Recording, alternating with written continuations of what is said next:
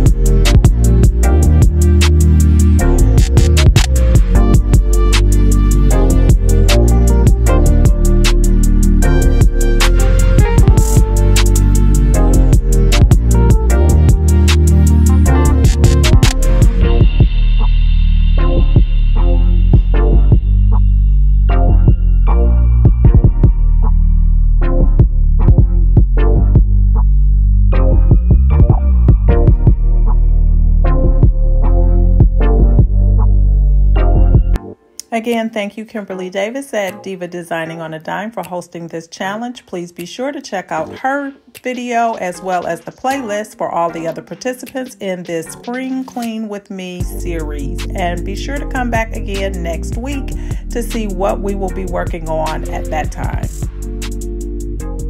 Subscribe to my channel. Bye!